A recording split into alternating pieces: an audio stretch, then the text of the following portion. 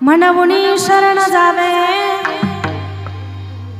म्हणवणी शरण जावे सर्व भावे देवासी तो हा उतरील पार भवदुस्तर नदीचा बहु आहे करुणावंत बहु आहे करुणावंत अनंत हे नामजा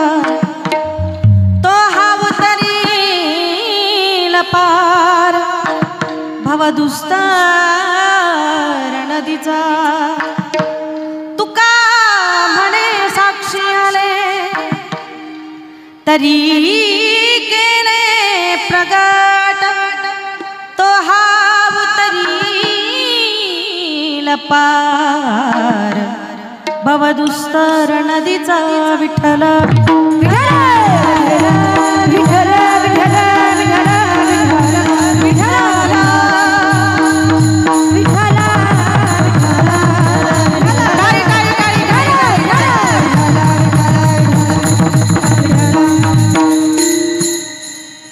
म्हणवणी शरण जावे। म्हणवणी शरण जावे सर्व भावे देवासी। तो हा उतरील पार भवदुस्तर नदीचा। इवंत प्रविश मम वाच मिमां प्रसुप्ता। संजीव यत्यखिल शक्तिधर स्वधाम्नाम्। अन्यांश हस्तचरण श्रवणत्व गादिनी प्राणां नमो भगवते पुरुषाय तुभ्यम्। महायोगपीठे तटे भीमरथ्यं वरं पुण्डरीकाय दातुं मुनीन्द्रै। समागत्य तिष्ठन्तमानन्दकन्दं परब्रह्मलिङ्गं भजे पाण्डुरङ्गं पाण्डुरङ्गकारू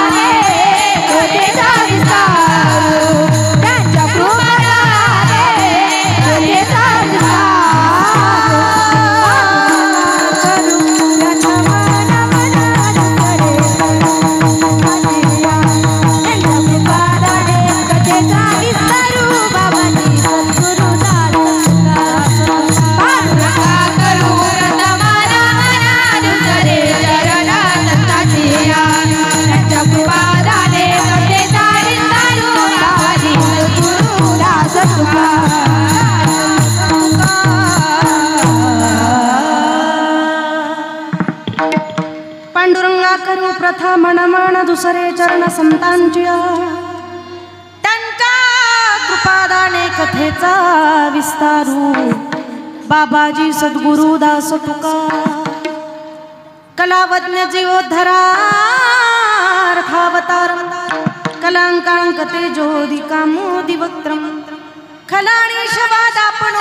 दक्ष समाधीस्त मूर्तीं भजे ज्ञानदे ॐ नमो ज्ञानेश्वरा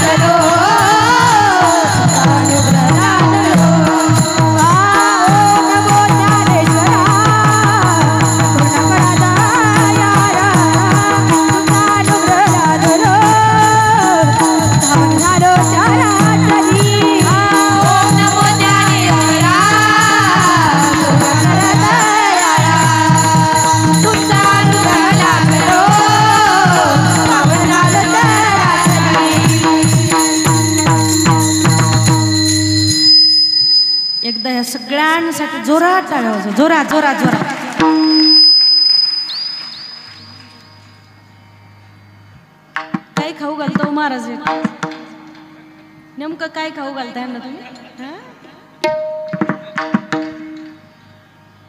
ओम नमो ज्ञानेश्वरा करुणा करा दयाळा. तुमचा अनुग्रह लाधलो पावन झालो चराचरी. नमो ज्ञानेश्वरा नमो ज्ञानेश्वरा निवृत्ती उदारा सोपण देवा. मुक्ताबाई नमो त्रिभुवन पावनी आद्यत्रय जननी देवांची. मस्तक माझा पायावरी या वार करी संतांच्या. जय जय श्री राधा रमन। जय जय नवल किशोर। जय गोपी चितचोर प्रभु। जय जय माखन चोर।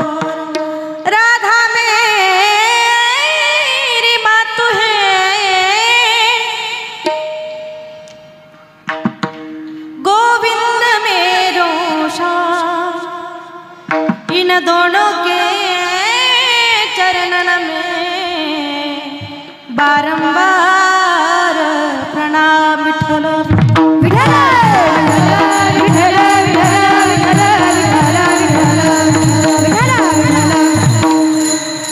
मनवुनी शरण जावे मनवुनी शरण जावे सर्व भावे देवासी। तो हा उतरील पार भवदुस्तर नदीचा। प्रस्तुत प्राप्त प्रसंगी प्रसंगी। प्राप्तस्थळी. ईश्वरचिंतनाकरिता निवडलेला अभंग. विश्ववंदे महाराष्ट्रभूषण जगद्गुरु जगद्वंदनीय. देव मान्य संत मान्य लोक मान्य. या भूतलावरती अवतीर्ण झालेले पंचमवेद निर्माते. छत्रपती शिवरायांचे आद्य गुरु. श्रीमंत श्री जगद्गुरु तुकोबराया यांचा चार चरणाचा आणि भगवान परमात्म्याची शरणागती पत्करणारा अभंग. विठाला विठाला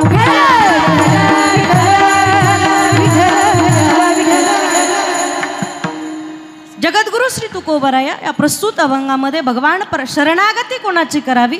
तर भगवंताची शरणागती करावी. आणि का म्हणून शरणागती करावी? एक चकारात्मक शब्द तुकोबरांनी या ठिकाणी वापरला. म्हणवणी. का म्हणवणी? काय कारण आहे? कशासाठी भगवंताला शरण जायचंय? कारण सांगा तुकोबराया. तुकोबराय म्हणतात म्हणवणी शरण जावे सर्व भावे देवासी. का म्हणवणी शरण जावे? तर तो हा उतरील पार भवदुस्तर नदीचा. म्हणवणी शरण जावे. बहु आहे करुणावंत अनंत हे नामज. म्हणवणी शरण जावे.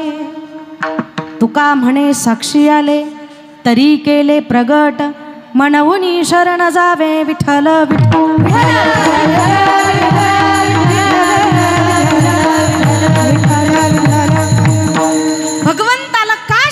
करावं तर शरण जाण्यायोग्य या जगतामध्ये अशी एकच वस्तू आहे. त्याचं नाव आहे परमात्मा.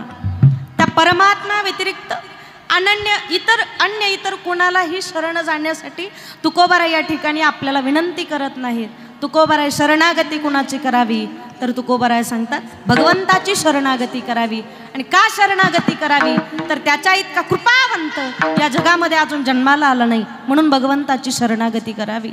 अभंगाचा सरळ सरळ भावार्थ तुम्ही सर्व श्रोते सज्जन मायवा तुमच्या सर्वांच्या चरणारविंदे ठेवण्याचा मी प्रयत्न केलेला आहे.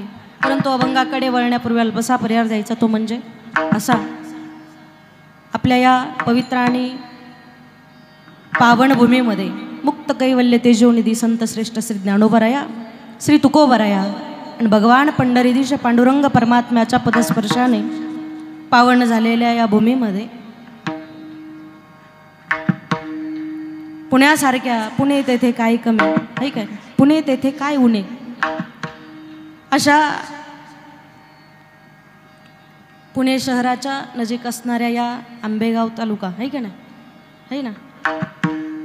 आणि समस्त ग्रामस्थ पेठ या परिसरामध्ये तृतीय तपपूर्ती सोहळा आणि तृतीय तपपूर्तीनिमित्त चालत असलेला अखंड हरिणाम सप्ताह नामयज्ञ सोहळा श्री संतोषी माता मंदिराच्या या प्रांगणामध्ये आई भवानीच्या जगदंबेच्या भगवतीच्या या प्रांगणामध्ये चालत असलेला अखंड हरिणाम सप्ताह श्री गोपालदास महाराज मठ आणि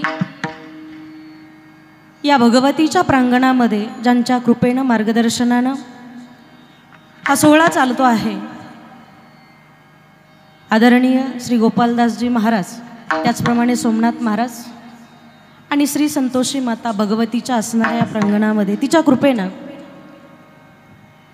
या असणाऱ्या भव्य आणि दिव्य असणाऱ्या सोहळ्याचं आयोजन नियोजन संयोजन तुम्ही सर्व गावकरी आणि ग्रामस्थांनी केलेलं आहे. प्रथमतः तुमच्या चरणारा विंदे माझं दंडवत असेल. आणि त्या अनुषंगाने देखणं इतकं सुंदर असं स्वरूप या कार्यक्रमासाठी ज्यांनी प्राप्त करून दिलंय ज्यांच्यामुळे प्राप्त झाले असे असणारे माझी बालपणीची मैत्रीण आमची माई आणि तताई महाराज सुद्रिक आम्ही एकाच एकाच गावातल्या एकाच माहेरातल्या सोबत शिकलो सोबत मोठ्या झालो.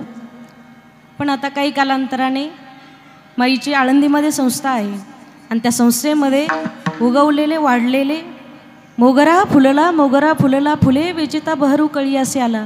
पण त्याच्यासाठी इवलेसे रोप. लावी येले द्वारी त्याचा वेलू गेला गगनावरी. आमच्या माईनं एक एक छोटं इतकं नाजूक रोपटं आणि इतक्या प्रेमानं ते वाढवलंय ना.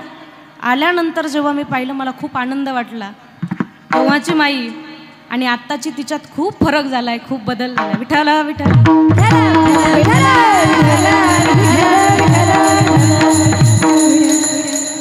तिने हे सगळं म्हणजे आपण एखादी कला जर आपल्याला ज्ञात असेल एखादी कला जर आपल्याला जमत असेल येत असेल ती नुसती आपल्यापुरती ठेवून उपयोग नाही महाराज नाही का?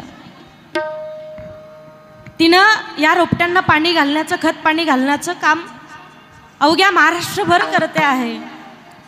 तिच्या या कार्याला आणि तिच्या जीवनामध्ये ज्यांचा मोलाचा वाटा आहे असे आमचे असणारे दाजी यांचा इतका मोठा वाटा आहे. खऱ्या अर्थानं त्यांच्यामुळे दोघांच्याही मुळे या मुलींचं जीवन या मुलींमध्येच आज सावित्रीबाई आपल्याला पाहायला मिळणार आहे. या मुलींमध्येच आपल्याला मुक्ताबाई मीराबाई जणाबाई या सगळ्या या मुलींमध्ये आपल्याला पाहायला मिळणार आहे. आत्ताच आप आत्ता दोन मिनटापूर्वी तुम्ही चाल ऐकली असेल. काही चाल म्हटली त्या मुलींनी. तुम्हाला सांगू का? दादांनो जीवनामध्ये जीवन जगत असताना जीवनामध्ये आपण किती जगलो याला अजिबात किंमत नाही. आपण किती जगलो याला अजिबात किंमत नाही. तुम्ही काय जगलात? तुम्ही तुमच्या जीवनामध्ये तुम्ही काय कमवलंय? याला खूप मोठी किंमत आहे. आज काळाची गरज आहे. आज काळाची गरज आहे. मुलगी शिकली प्रगती झाली आपण पाहतोय. पण आपल्या अंतःकरणामध्ये ही गोष्ट कुठपर्यंत उतरते? हे त्या त्याच्याही पेक्षा महत्त्वाचं आहे. पूर्वीच्या काळामध्ये मुलगी फक्त चूल आणि मूल इथपर्यंतच होती. आणि त्याचे परिणामही आपल्याला पाहायला मिळत होते. पण आज या कलियुगामध्ये काळाची गरज आहे. मुलगी फक्त चूल आणि मूल तिथपर्यंत रा तिथपर्यंत तिथपर्यंत ठेवून जमणार नाही.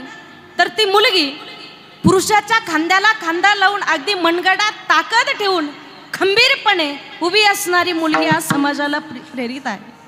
समाजाला हवी आहे.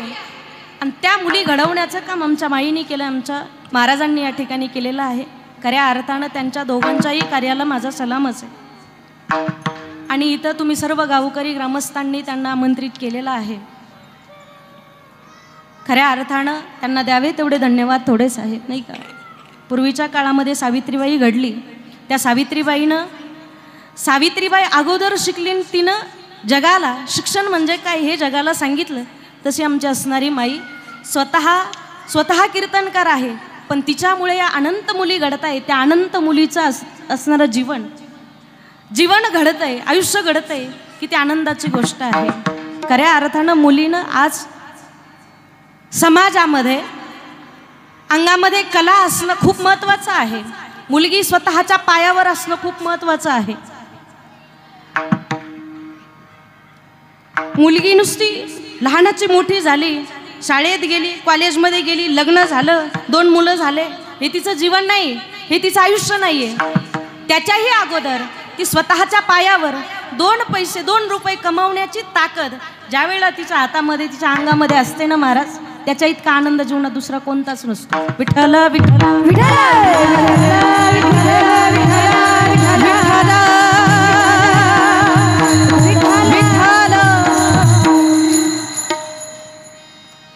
मुलींनो जीवन जगत असताना नुसतं शाळा शिकू नका नुसतं शाळेत जाऊ नका नुसतं कॉलेजमध्ये जाऊ नका स्वतःच्या पायावरती उभं राहा. नाहीतर उद्या लग्न झालं आणि लग्न झाल्यानंतर गेल्या नांदायला. नांदायला गेल्यानंतर काहीच येत नाही महाराज. स्वयंपाकही येत नाही. काहीच येत नाही तिला. आणि मग तिची सासूची गंमत पाहिजे पाहायला पाहिजे. आई गांबाबाई मला कशी ग पावली? चपात्याचा म्हणा म्हणून सासू माझ्या धावली त्याच्यामुळं पुरीनं आजपासून हुशार व्हा. आपल्या स्वतःच्या पायावर उभं राहिल्याशिवाय शुभमंगल तिकडं जायचंच नाही बरं का? इतकं हुशार व्हायचं इतकं हुशार व्हायचं जीवनामध्ये. अशक्य अशी कुठलीच गोष्ट नाही जीवनामध्ये. सगळं काही करता येतं सगळं काही करता येतं. पण त्याच्यासाठी आपल्या अंगामध्ये आपल्या अंतःकरणामध्ये जिद्द असणं महत्त्वाचं आहे. तेवढी हिंमत असणं महत्त्वाचं आहे. आणि ती सगळी हिंमत या मुलींमध्ये पाहायला मिळते महाराज. एवढ्या हुशार मुली तिनं घडवल्या. असं कुठं पाहिलंच नाही मी. मुलींच्या संस्था भरपूर पाहिल्या पण एवढ्या तयारी करून घेतलेली खरंच म्हणजे कौतुक करायचं नाही मला. तोंडावर कौतुक करायचं अंतःकरणामधून एवढी मुलींची तयारी करून घेतली ती फक्त आमच्या माईच्या संस्थेत मला पाहायला मिळाली. खरंच तुमचं कौतुक आहे. धन्यवाद आहे. का तुमच्या असणाऱ्या कार्याला खूप मोठा सलाम आहे माझा. आणि त्या अनुषंगाने पाचव्या दिवसाची सेवा बरोबर ना? पाचव्या दिवसाची सेवा माझ्या वाट्याला आलेली आहे. भगवान परमात्मा ज्याप्रमाणे सेवा करून घेतील त्याप्रमाणे बोलण्याचा तुमच्यासमोर मांडण्याचा प्रयत्न मी करणार आहे. आदरणीय मृदुंगाचार्य मृदुंगमणे आपल्या असणाऱ्या या कार्यक्रमाकरिता उपस्थित असणारे आदरणीय माऊली महाराज या ठिकाणी उपस्थित आहेत. आदरणीय तबल्याची साथ करणारे आदरणीय साक्षी दिदी या ठिकाणी उपस्थित आहेत. हार हार्मोनियम वादक आहेत. सर्वच जण आता प्रत्येकाचं नाव घेणं शक्य नाही. सर्व असणाऱ्या संस्थेतल्या मुली माझ्या माता भगिनी आईसाहेब इकडं पितृवर्ग कोणाचे नावं मला माहिती नाही तुम्ही अपेक्षा पण करू नका. अपेक्षा करूच नका कारण तुमच्या संक्रांतीच्या वेळेला तुमच्या तुमच्या घरच्या तुमचं नाव घेतच असतील ना? माझ्याकडून अपेक्षाच करू नका. अशा सर्वांच्या उपस्थितीमध्ये या असणाऱ्या कार्यक्रमाचं भव्य आणि दिव्य अशा स्वरूप स्वरूपाचं अगदी सुंदर आणि देखणा कार्यक्रम या ठिकाणी थाटामाटाने चाललेला आहे. या कार्यक्रमाकरिता साऊंड सिस्टीमसुद्धा अतिशय सुंदर आहे. अतिशय सुंदर आहे. आता छान लागले आता याच्यात अजिबात बदल करू नका. बरं का दादा? ओ दादा. साऊंड सिस्टीमवाले हां आता याच्यात बदल करू नका. आदरणीय आपल्या कार्यक्रमासाठी ज्यांचं यूट्यूब चॅनल आहे असे असणारे आदरणीय माऊली महाराज आमचे विकास दादा माझ्यावरती अगदी मोठ्या बहिणीसारखं प्रेम करणारे. कीर्तन असलं की मला चार चार वेळा फोन असतो बरं का त्यांचा विकास दादाचा. कीर्तन असलं सकाळपासून चार चार वेळा फोन असतो. कीर्तन संपल्यावर ताई घरी गेली का ताई? फोन बिन तसं काही नसतं. असो. तुम्हा सगळ्यांना द्यावे तेवढे धन्यवाद थोडे आहे. उरलेल्या उर्वरित वेळेमध्ये जगद्गुरु तुकोबारायांच्या असणाऱ्या वचनांवरती आपण बोलण्याचा प्रयत्न करू. विठ्ठल विठ्ठल म्हणून शरण जावे. सर्व भावे देवासी तो हाव तरी लपार. भावा दुस्तर नदीचा. या अभंगामध्ये जगद्गुरु श्री तुकोबराया भगवान श्री परमात्म्याला का शरण जावं? का शरण जावं म्हणण्यापेक्षा कोणाला शरण जावं हे अतिशय महत्त्वाचं आहे. आपण शरण जातो. सामान्य माणसं तुम्ही आम्ही सर्वच जण आपण शरण जातो. पण कुणाला शरण जावं याचं ज्ञानच आमच्याकडे नाही. कुणाला शरण जावं ज्ञान नाही महाराज आमच्याकडे. आम्ही ह्या महाराजाकडे जातो. त्या महाराजाकडे जातो ह्याची माळ घालतो त्याची माळ घालतो त्याची तुटली तर अजून तिसऱ्याची घालतो महाराज. टपोऱ्या मण्याची घालतो. आणि कधी घालतो? कधी घालतो? माळा कधी घालतात? तोंडातले बत्तीस दात ज्या वेळेला पडून जातात त्यावेळेला टपोऱ्या मान्याची माळ पंढरपुराहून घेऊन येतात आणि मग माळ घालतात. याच्या दातातला अजून निघालं नाही आणि हा नंतर माळ घालतो महाराज. एकदा वय निघून गेल्यानंतर तुमच्या परमार्थाला किंमतच नाही. तुमच्या परमार्थाला अजिबात किंमत नाही. तुम्ही पहा मंदिरात गेल्यानंतर आपण पाहतो मंदिरात गेल्यानंतर भगवान परमात्म्याच्या चरणारवरती आपण जे फुलं चढवतो ना ते फुलं कसे असतात हो? चार दिवसाचे शिळे झालेले सुकलेले कसे असतात? बोलत नाहीत का इकडचे? हां मोठ्याने बोलत जा मला जरा ऐकायचा प्रॉब्लेम आहे. बोला मोठ्याने बोला. देवाच्या चरणावरती चढवले जाणारे फुलं कसे असतात? ताजे असतात टवटवीत असतात. देवाला ताजे टवटवीत फुलं प्रिय आहेत. ताजे टवटवीत फुलं देवाला आवडतात. शिळे सुकलेले फुलं देवाला आवडत नाहीत. मला काय म्हणायचं तुमच्या लक्षात आलं असेल? काय म्हणायचंय मला? आमचा असला अवतार खोबऱ्याची वाटी झाले असे मुख गळत असे ना कसलेश्मपुरी असा आकार आपण देवाकडे घेऊन गेल्यानंतर देवाची प्राप्ती आपल्याला होईल का हो? देवाची प्राप्ती आपल्याला त्या वयामध्ये कधीच होऊ शकत नाही. त्याच्यासाठी तरणा भाग्यवंत. हरी कीर्तनात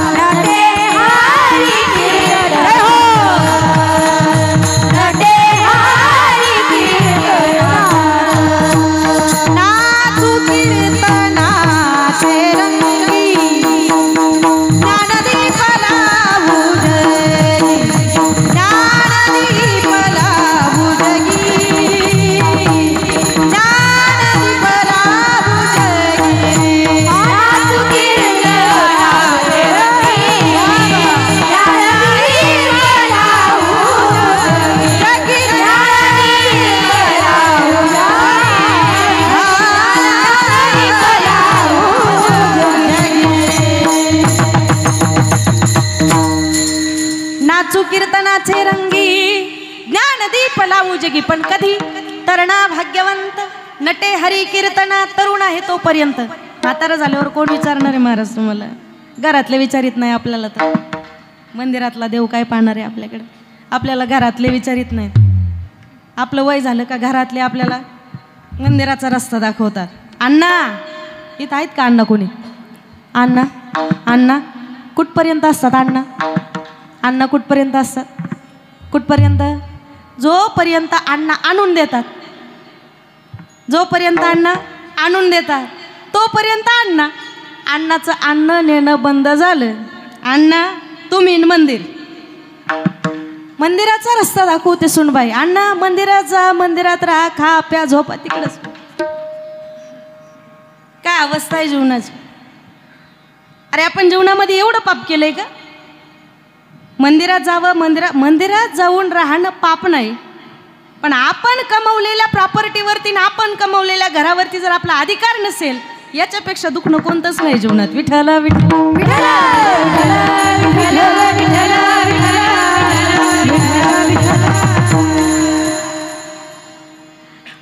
आपण मंदिरात जावं मंदिरात राहावं मंदिरात खावं मंदिरात प्यावं मिळेल ते खावं मिळेल ते प्यावं मिळेल तसं राहावं याच्यापेक्षा आपल्या देहाचं मंदिर व्हावं असं आपलं जगणं असावं.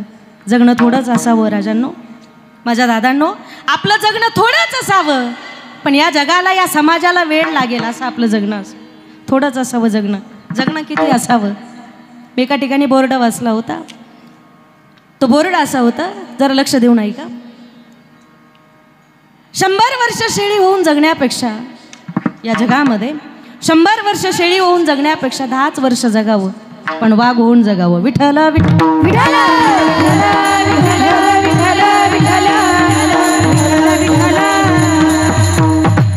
तरच आपल्या जगण्याला किंमत आहे. तरच जगणं आपलं थोडं असावं गोड असावं. कबीर महाराजांना विचारा तुमचं जगणं कसं असावं? कबीरजींनी गोड सांगितलं. त्याच्यासाठी एक दोहा वापरला. कबीरा कबीरा कबीरा। कबीरा जब हम पैदा हुए जगह से हम रोए। ऐसी करनी कर चलो। जग रोए हम हसे। ज्या वेळेला आपण जन्माला येतो ना बरं का दादांनो? जन्माला येतो ना जन्माला येत असताना आपण रडत रडत येतो. आणि आपण आल्यानंतर आपल्या घरातल्या सगळ्या मंडळींना आपण आल्याचा आनंद होतो. आपली आई हसत असते आपले बाबा हसत असतात आपली चुलती आपली चुलता मामा मामी मावशा काकी हे सगळेजण हसत असतात आणि आपण त्यावेळेला रडत असतो. आईवडिलांना आनंद होतो. वंशाला दिवा झाला वंशाला दिवा झाला वंशाला दिवा झाला. हा दिवा जेव्हा दि दिवे लावायला सुरुवात करतो ना मग यांची टूप पेटते. मग यांच्या लक्षात येतं महाराज. नाही का? आपल्या घरातल्यांना आनंद होत असतो. आणि आपण त्यावेळेला रडत असतो. पण या जगामध्ये असं काहीतरी कमवायचं. या जगासाठी असं काहीतरी ठेवून जायचं. असं काहीतरी ठेवून ठेवून जायचं. आपण हसत हसत जावं. आपण हसत हसत जावं आणि या जगाने आपण गेल्यानंतर आपल्या जाण्याची चुरचूर या जगाला लागावी आणि या जगानं रडावं महाराज. विठल विठल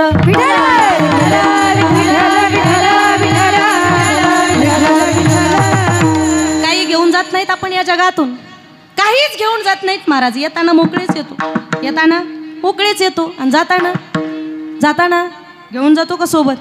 हे माझं आहे ते माझं आहे ते माझं आहे महाराज. आपण शेताला बाण ठेवत नाही.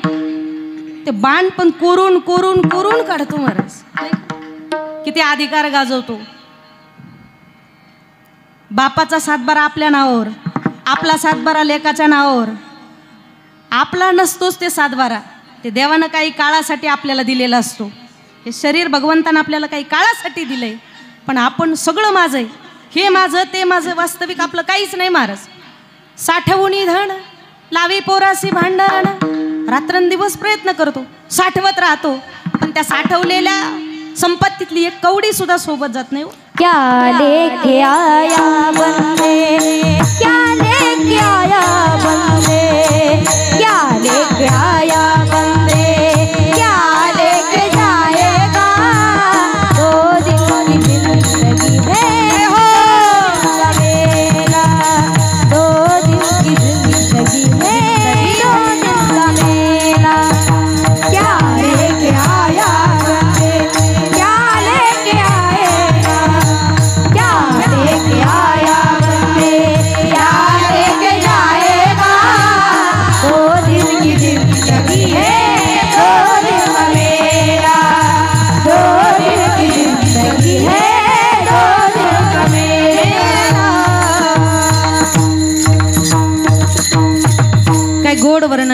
महाराजांनी क्या लेके आया बंदे? क्या लेके जाएगा? दो दिन की जिंदगी है दो दिन का मेला। दोनच दिवस राहायचं महाराज. दोनच दिवसाचं आयुष्य भगवंताने दिलंय. पण त्या दोन दिवसाच्या आयुष्यामध्ये आपल्याला केवढी घमंड आहे.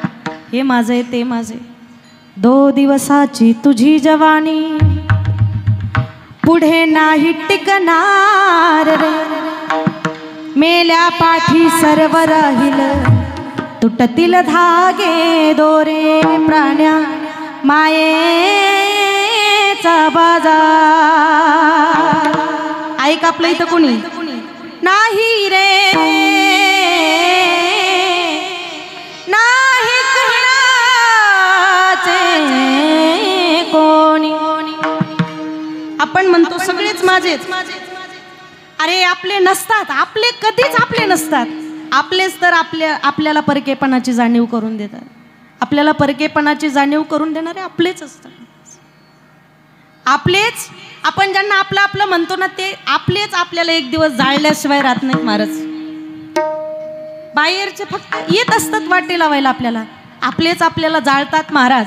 आणि हे आपलेच असतात. बहीण कुणाची भाव कुणाचा?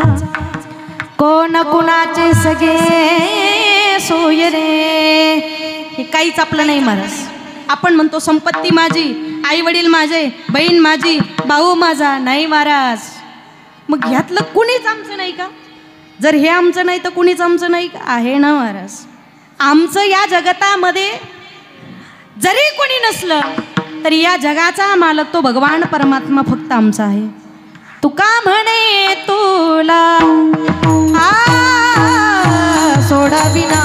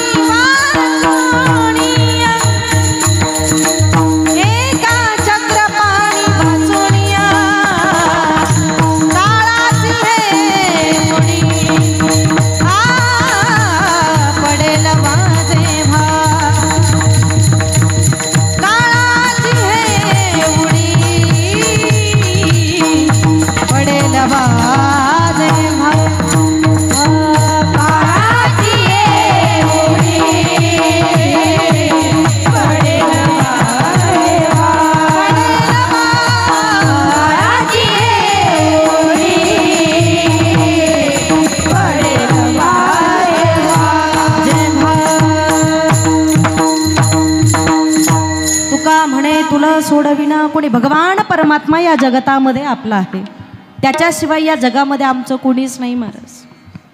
मग आम्ही आम्ही ह्या महाराजाची माळ घालायची त्या महाराजाची माळ घालायची. हा गुरु कर तो गुरु कर महाराज. परत जाऊ द्या महाराजांचं थोडं बाजूला ठेवा.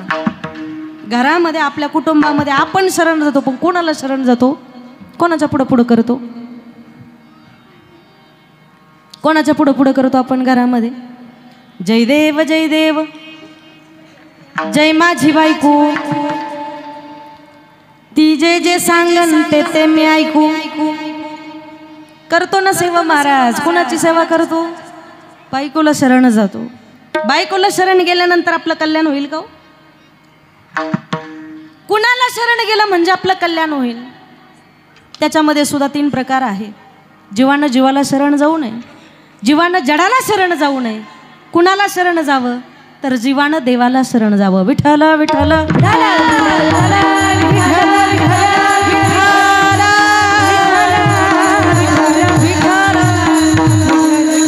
अनेक जण भगवान परमात्म्याला शरण गेले.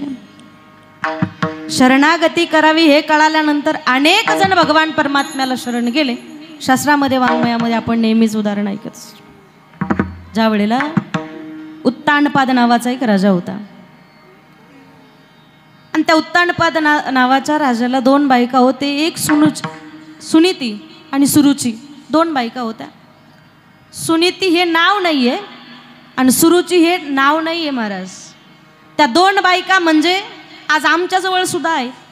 आमची नीती ज्याची नीती चांगली आहे तिचं नाव सुनीती. आणि ज्याला प्रत्येक गोष्टीमध्ये रुची आहे त्याची बायको सुरुची. अशा दोन बायका आपल्याला सुद्धा आहेत महाराज. पण त्या उत्तानपाद राजाला ह्या दोन बायका होत्या. त्यातली सुनीती नावडती होती सुरुची आवडती होती. नावडतीचा ध्रुव आवडतीचा उत्तम. त्या उत्तमाचे हा राजा लाड करायचा ध्रुवाचे लाड करत नव्हता. एक दिवस सकाळच्या वेळेला सिंहासनावरती उत्तम बापाच्या मांडीवरती बसलेला आहे. आणि ध्रुव बाळानं पाहिलं.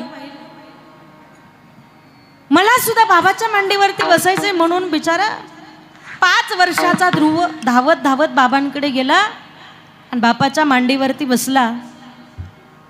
दोघांसोबतही तो राजा गप्पा मारत होता आणि गप्पा मारत असताना जी सावत्राई होती ना सुरुची पळतच आली. पळतच आली ध्रुव बाळाला बापाच्या मांडीवरून खाली खेचलं आणि जोरात ढकलून दिलं.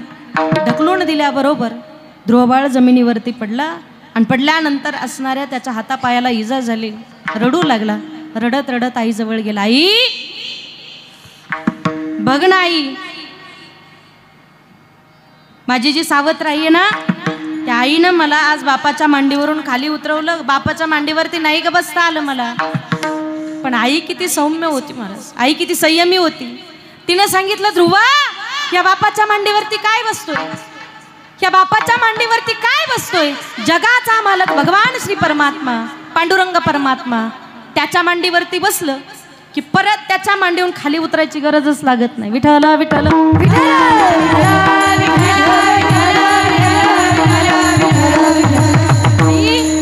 हे आई सांग ना ग. ज्या बापाबद्दल तू बोलते ना ज्या भगवंताबद्दल तू बोलते आहेस ना तो भगवान परमात्मा राहतो तरी कुठं? प्रश्न केला आईला. आई म्हणते ध्रुवा अरे असा काय प्रश्न करतोय तू? तो भगवान परमात्मा राहतो तरी कुठं असं म्हणण्यापेक्षा तो कुठं राहत नाही सांग ना ध्रुवा तो भगवंत कुठे राहत नाही तो चराचरात व्यापला देव नटला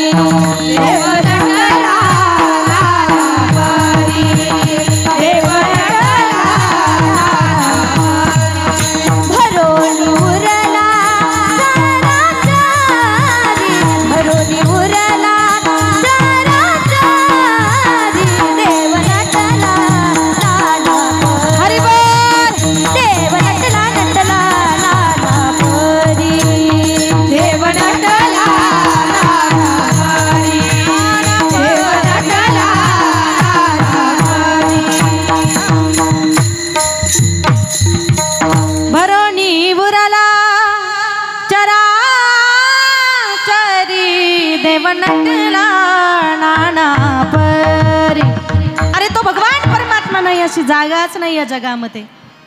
सर्व घटी राम देहा देही सूर्यप्रकाशक सहस्ररश्मी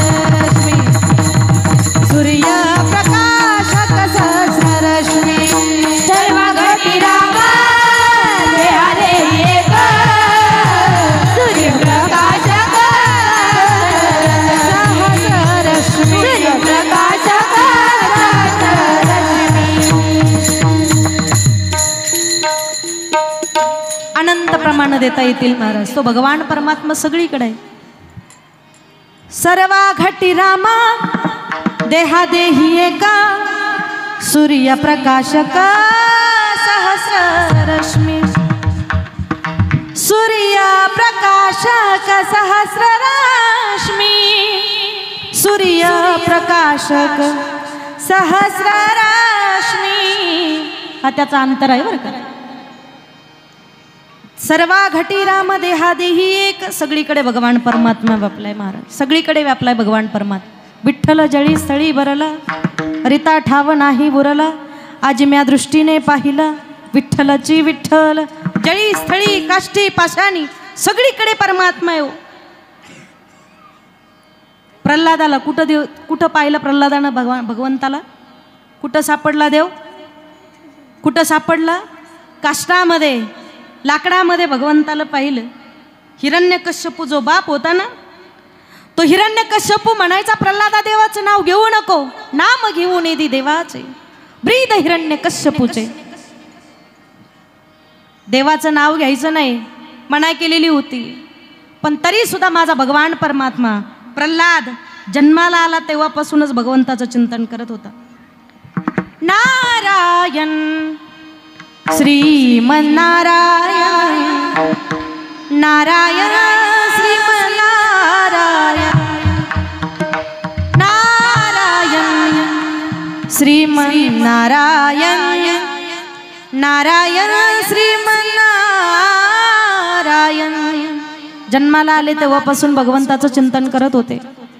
त्या बापानं किती संकट टाकले किती संकटात टाकलं उकळत्या तेलाच्या कढईत टाकलं पण प्रल्हादावर परिणाम नाही झाला. माजलेल्या हत्तीच्या पायी दिलं प्रल्हादावरती परिणाम नाही झाला. उंच कड्यावरून ढकलून दिलं माझ्या प्रल्हादावरती परिणाम नाही झाला. आपलं ध्येय साध्य करेपर्यंत आपण जर त्या ध्येयापासून बाजूला गेलो नाहीत ना एक दिवस नक्कीच त्या ध्येयापर्यंत आपण पोचल्याशिवाय राहत नाही. त्या उंचीवरती आपण गेल्याशिवाय राहत नाही. पण त्या उंचीवरती गेल्यानंतर आपण आपण एवढे उंच कुठून झालो हे कधी विसरायचं नसतं नाही का? प्रल्हाद त्या प्रल्हादावरती बापानं खूप संकट टाकले हो. पण प्रल्हादावरती काही परिणाम झाला नाही. एक दिवस बापानं जवळ बोलवलं प्रल्हादा काय बाबा? जवळ बोलावलं आणि विचारलं प्रल्हादा ज्या देवाचं तू एवढं चिंतन करतोय जन्माला आला तेव्हापासून चिंतन करतोय?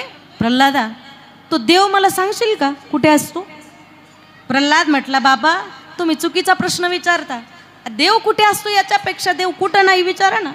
देव जळी स्थळी काष्टी पाषाणी सगळीकडं व्यापलाय महाराज. तो भगवान परमात्मा सगळीकडं व्यापलेला आहे. आणि तो भगवान परमात्मा म्हटले या लाकडात आहे का? या खांबात भगवान परमात्मा आहे का? खांबावरी लाथ मारिली दुर्जने. संभी देवराया प्रगटले. खांबातून भगवान परमात्मा प्रगट झाले. नृसिंह रूप भगवान परमात्म्यानं धारण केलं. आणि त्या हिरण्यकश्यपूला मांडीवरती ओढलं. आणि त्या ठिकाणी नाख्यांनी फाडलं. त्या हिरण्यकश्यपूला भगवान परमात्म्यानं अमरपद दिलं होतं अमरपद. अमरपद मागितलं होतं.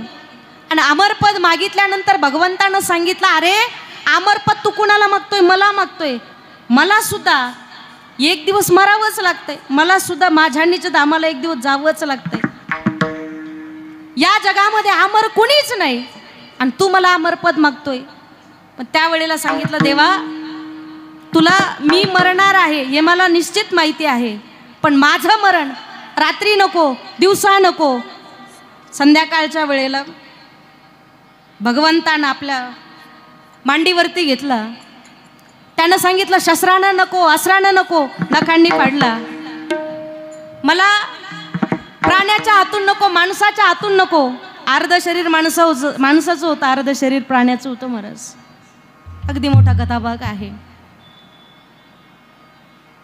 मला हे सांगायचं तुम्हाला की भगवंताकडे गेल्यानंतर भगवान परमात्मा आपल्याला काय देत नाही हो? ध्रुव बाळ भगवान परमात्म्याकडे गेले. भगवान परमात्म्याची तपा तपस्या केली उपासना केली. आणि उपासना केल्यानंतर वनात गेल्यानंतर ज्यावेळेला तपस्या करत होते उपासना करत होते स्मरण करत होते ना काही दिवस त्या ध्रुव बाळानं अन्न प्राशन केलं पाणी प्राशन केलं. भगवंताची भक्ती केली स्मरण केलं चिंतन केलं. पण भगवान परमात्मा प्रसन्न झाले नाही. देव भेटण्याकरता मिळण्याकरता एवढा सोपा नाही महाराज. भगवान परमात्मा सहज आपल्याला मिळत नाही. मनी नाही भाव देवा. म्हणे मला पाव. देवा शान पावायचा नाही रा. देव बाजारचा भाजीपाला नाही रा. मनी नाही भाव म्हणे देवा मला पाव. देव सहज प्राप्त होत नाही. त्याच्यासाठी अनेक जन्माचं पुण्य असावं लागतं. बहुत सुकृताची जोडी म्हणून विठ्ठली आवडी. अनंत जन्माचं पुण्य असावी लागते. तो परमात्मा प्रसन्न होत नाही आहे ध्रुवाच्या लक्षात आलं. मग ध्रुवाने काय केलं?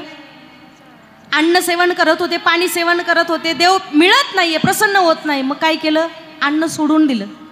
अन्न प्राशन करायचं खायचंच सोडून दिलं. फक्त पाणी पिऊन राहू लागले. तरी सुद्धा देव भेटत नाही. काही महिने गेले देव भेटत नाहीये. ध्रुवबाळ जिद्दी होते. सुरुवातीला अन्न सोडून दिलं नंतर पाणी प्यायचं सोडून दिलं. कित्येक महिने गेले पण देव भेटत नाहीये. अन्न पाणी सोडून दिलं देव भेटत नाहीये. शेवटी श्वास घेणं बंद केलं. श्वास घेणं बंद केलं. माझ्या भगवंताला काळजी लागली. मागे पुढे उभा राहे सांभाळीत. आलिया आघात निवारा या परमात्म्याला काळजी लागली आणि परमात्मा प्रसन्न झाले. विचारलं ध्रुवा कशासाठी तपस्या करतोय? कशासाठी भक्ती करतोय? कशासाठी माझं स्मरण करतोय? त्यावेळेला ध्रुव बाळाने सांगितलं देवा बापाच्या मांडीवरती बसण्याची इच्छा होती. बापानं मांडीवरती नाही बसू दिलं. देवा मला अशी जागा द्या ना त्या जागेवर मला कुणीच उठवणार नाही. भगवान परमात्म्यानं तथास्तू म्हणून सांगितलं अढळपदी बाळ बैसविला ध्रुवू. दुधाचा सागरू उपमन्या विठ्ठल विठ्ठल विठ्ठल अनेक जण भगवान परमात्म्याकडे गेले आणि भगवंताकडे मागितलं आणि मागितल्यानंतर भगवान परमात्मा देणार नाही महाराज. देणार नाही अशातला भगवान परमात्मा आहे का? उदार तू हरी ऐसी कीर्ती चराचरी. इतका उदार परमात्मा आहे. त्यानं सगळ्यांना सगळं देऊन टाकलं. यशे थोरविला मारुती विभीषण केला लंकापती. औदार्य देऊनी कर्णा हाती कीर्ती दिगंती मा- मिरविली. ज्ञाने उपदेशला चतुरानन भगवंत सगळ्यांना सगळं देऊन टाकतो महाराज. देऊन पाहतो. देऊन पाहतो. दानसूर असणारा परमात्मा आहे. तोची एक दानसूर दाता. त्याच्या इतका दानसूर अजून या जगात जन्माला आला नाही. इतका दानसूर परमात्मा सगळ्यांना सगळं देतो. पण हे सगळं देण्याच्या अगोदर घेसी तेव्हा देसी. ऐसा अससी उदार. अगोदर आपल्याकडून काहीतरी घेत असतो. आपली प्रार्थना आपली भक्ती भगवान परमात्मा सेवन करतो. आणि त्याच्या बदल्यात भगवान तर खूप काही आपल्याला देत असतो महाराज. जावंच वाटतं ना शरण. कुणाला शरण जावं? तर भगवंताला शरण जावं अभंगाच्या प्रथम शरण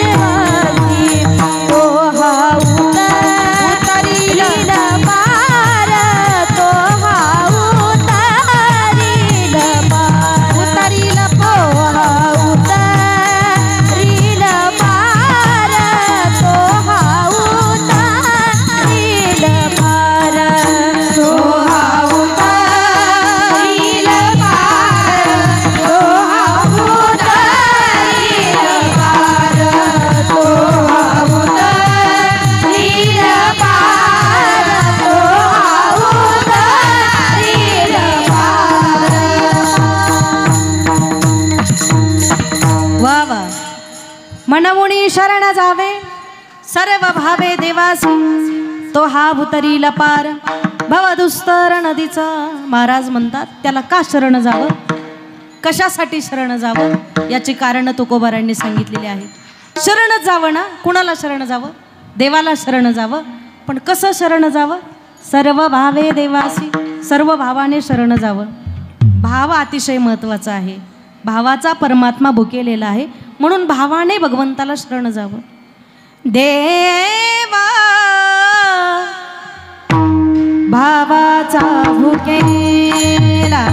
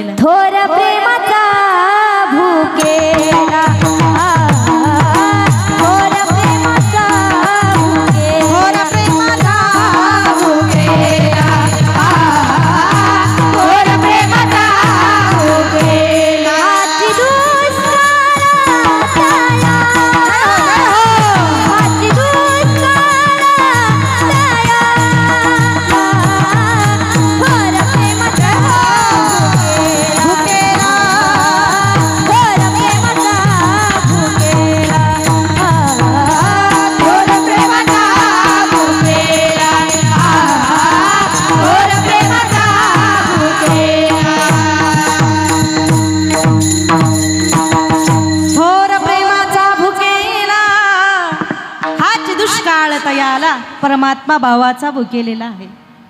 अनेक प्रमाण सांगता येतील आपल्याला. वाङ्मयामध्ये शास्त्रामध्ये जरा पाहिलं. गिरीधरीला तो भावका भूका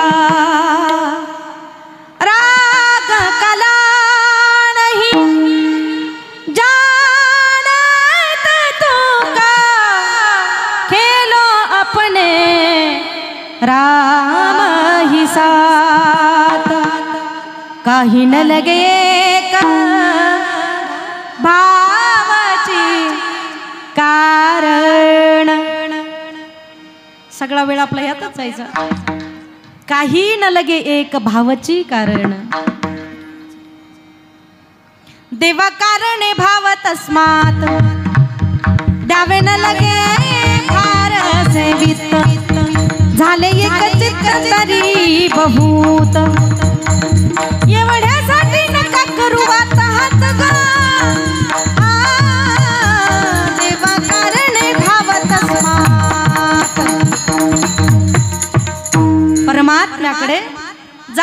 असताना तुमच्या ठिकाणी भाव अतिशय महत्त्वाचा आहे. भाव म्हणजे बहीण बहिणीच्या पाऊट पाठीवर येतो. बहिणीच्या पाठीवर होतो तो भाव नाही बरं का?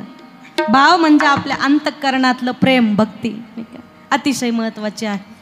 अनेक जणांनी आपला भाव परमात्म्याला समर्पित केलं हो. अनेकांनी आपला भाव समर्पित केलं. सगळ्यात पहिलं उदाहरण आपण नेहमी ऐकत असतो तुम्ही कथा कीर्तन प्रवचन ऐकणारे ज्ञात श्रोते आहात. नाही का? ज्ञानोबरांच्या कुशीमध्ये तुम्ही जन्माला आलात. तुम्ही काही सामान्य आहेत का? नाही का? भगवान श्रीकृष्ण परमात्मा आणि सुदामदेवाची जोडी. नाही का? संदीपनी ऋषींच्या आश्रमात एकत्र शिकले. पण प्रारब्ध पहा ना तुम्ही. प्रारब्ध योग कसा असतो जीवनामध्ये?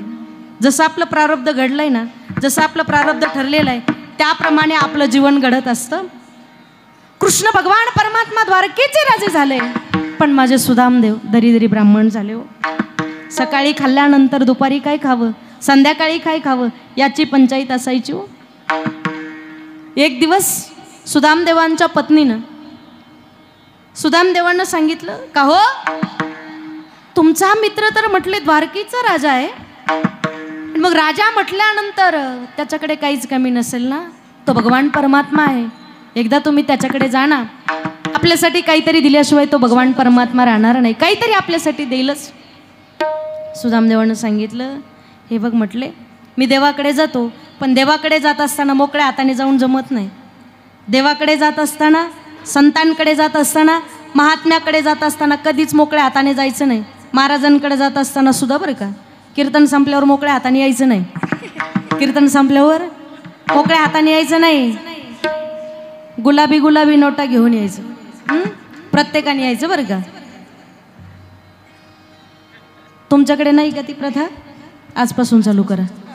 आजपासून चालू करा.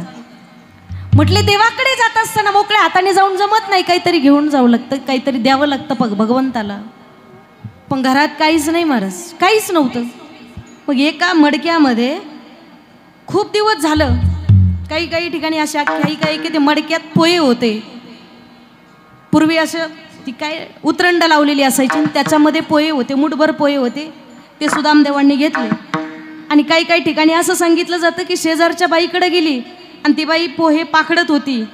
आणि पोहे पाकडत असताना समोर जे आलं ना बारीक बारीक त्या पोह्यातून बाहेर पडलेलं ते समोर आलेलं ते सगळं गोळा केलं आणि त्या बाईनं सांगितलं एवढं घेऊन जा. ते सुदामदेवांच्या पत्नीनं गोळं केलं एका पुरसुंडीमध्ये बांधलं आणि सुदामदेवांकडे दिलं. आणि सुदामदेव निघाले भगवंताच्या भेटीकरिता. चले श्याम सुंदर से मिलने सुदामा। चले श्याम सुंदर से मिलने सुदामा। गाते गाते चले मन में हरे कृष्ण रामा। चले श्याम सुंदर से मिलने सुदामा।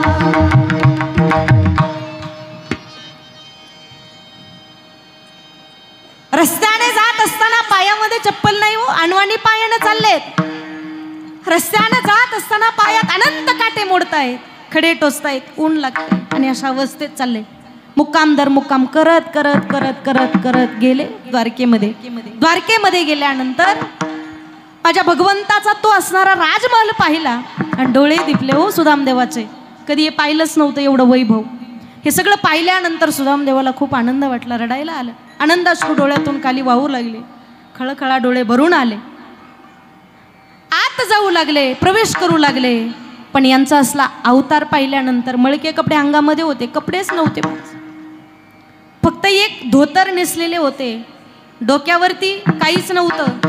आणि अशा अवस्थेमध्ये चालत असताना ज्या वेळेला ते द्वारकाधीश भगवंताच्या नगरीमध्ये गेले. आणि दारामध्ये प्रवेश द्वारामध्ये ते असणारे? काय म्हणतो त्याला आपण? द्वारपाल. द्वारपाल तिथं रक्षण करत होते. त्या द्वारपालांनी पाहिल्याबरोबर सुदामदेवाला ढकलून दिलं. ढकलून देऊ लागले. पण सुदामदेवाने सांगितलं अरे द्वारपालांनो अरे द्वारपालो कन्हैया से कह दो के पे सुदामा गरीब आ गया है। न सर पे है पगड़ी, न तन पे है जामा। बता दो कन्हैया को नाम है सुदामा। बता दो कन्हैया नाम है सुदामा। हुआ रुक्मिणी को बहुत ही अचंबा। के दर पे सुदामा गरीब आ गया है? के दर पे सुदामा गरीब आ गया है? जेव्हा द्वारपालांनी माझ्या कृष्ण परमात्म्याला जाऊन सांगितलं ना, उठे श्याम दौडे नंगे ही पैरो, लगाया गले से सुदामा को मोहन. पळतच सुटले भगवान परमात्मा. पळत पळत कुठं आले? सुदामदेवाजवळ आले. आणि बालपणीचा मित्र सुदामदेव पाहिल्यानंतर. इतका आनंद झाला इतका आनंद झाला ना भगवान परमात्मा रडू लागले. का रे सुदामा इतक्या वर्षानंतर भेटलंस? आपण सुद्धा आपला जर एखादा मित्र भेटला ना भेटत नाही आता पण कॉल येतो. त्याचा कॉल आल्यानंतर आवाज जर ऐकला ना आपल्या बालपणीचा मित्र आठवा तुम्ही. आपल्या बालपत आणि आपल्या जीवनामध्ये एखादा तरी मित्र असावा. एखादा तरी मित्र असावा. पाठीमागं ती एक कविता इतकी सुंदर आली होती. त्याचे दोनच वाक्य इतके छान होते. दुःखाने वायला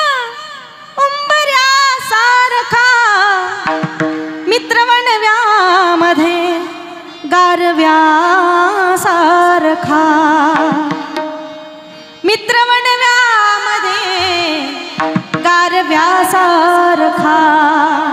आपल्या जीवनामध्ये जर दुःख आलं ना आपण ते दुसरं कुणाला सांगत नाही. आपला जीवलग मित्र. आपलं जिथं मन मोकळं होईल ना त्या मित्राजवळ जातो आणि आपण ते दुःख व्यक्त करत असतो. आणि तेवढीच एक जागा आहे आपलं दुःख सांगण्याची नाही का? सुदामदेव आणि परमात्म्याची भेट पाहण्यासारखी होती हो शास्त्रामध्ये वाङ्मयामध्ये. असे मित्र नंतर कुठेच कधीच झाले नाहीत महाराज. भगवान परमात्म्याने सुदामदेवाला घेऊन गेले. आतमध्ये सिंहासनाजवळ घेऊन गेले राजदरबारामध्ये घेऊन गेले आणि सिंहासनावरती बसवलं. अंगामधले फाटके कपडे काढून घेतले. सुरुवातीला स्नान घातलं. चरण धुतले. चरण धुत असताना भगवंताने ताट वापरलं नाही वो एखादा महात्मा महाराज जर घरी आले तर आपण ताट वापरतो. अगरबत्त्या धूप दीप चंदन नाही का? महाराज घरी आले. आपण सगळ्या विविध प्रकाराने पूजा करतो. पण माझ्या भगवंताकडे हे सगळं होतं पण भगवंताने ते नाही वापरलं. पाणी परात को हात छुए नहीं. नयन के जल से पग दोए डोळ्यातल्या अश्रूंनी सुदामदेवाचे चरण धुतले. आणि सुदामदेवाची पाद्यपूजा केली. पाद्यपूजा केल्यानंतर आपल्या अंगामधले कपडे काढले भगवंतानं. स्वतःच्या अंगामधले कपडे काढले आणि सुदामदेवाला घालायला दिले. आपल्या डोक्यावरचा मुकुट काढला सुदामदेवाला घालायला दिला. आणि हे सगळं झाल्यानंतर पंचपक्वांनाचं ताट त्याच्यामध्ये काय काय खावं याची पंचायत सुदामदेवाला होती. ज्या वेळेला सुदामदेव घरी राहत होते काय खावं याची पंचायत होती आणि भगवंताकडे गेल्यानंतर काय काय खावं याची पंचायत सुदामदेवाला होती. ते पंचपक्वांनाचं ताट समोर आल्यानंतर सुदामदेवाला आपल्या लेकरांची आठवण झाली आपल्या पत्नीची आठवण झाली. दहा बारा दिवस सुदामदेव भगवंताजवळ राहिले पण दहा बारा दिवसानंतर पुन्हा पत्नीची आठवण झाली लेकरांची आठवण झाली. आपण एवढं राजवैभव भोगतोय पण आपली पत्नी आपली मुलं बाळं काय करत असतील? ते भुकेनं व्याकुळ झाले असतील म्हणून सुदामदेव जाण्यासाठी निघाले. जाण्यासाठी निघाले.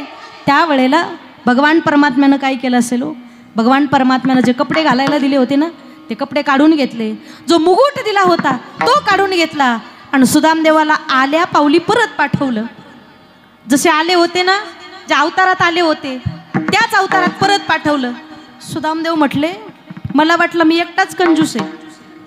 अरे माझ्यापेक्षा हे देव किती मोठा कंजूस आहे? या देवानं जे दिलं होतं ते सुद्धा घेतलं महाराज माझ्याकडून. सुदामदेव दुःखी झाले आणि पुन्हा परतीच्या प्रवासासाठी निघाले. पण ज्या वेळेला आपल्या नगरीजवळ गेले नगरीजवळ गेल्यानंतर सुदाम देवाला सुदामाची नगरीच ओळखायला येत नव्हती सुदामा ब्राह्मण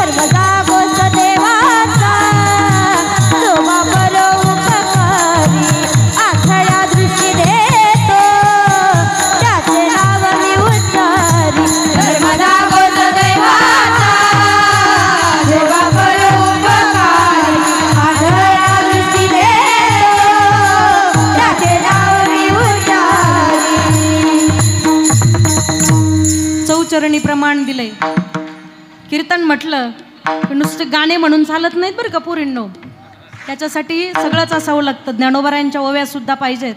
श्लोक पाहिजेत. अभंग पाहिजे त्या ठिकाणी. महाराजांचे प्रमाण सुद्धा आपल्याला आठवले पाहिजेत. कीर्तन म्हणजे काय? सोपी गोष्ट आहे का महाराज? कीर्तन अगोदर साठवावं लागतं. अगोदर या मेमरी साठवावं लागतं. इथं स्टेजवर आलं की श्रोत्यांना पटवावं लागतं. पटवावं लागतं आपल्या बोलण्यातून.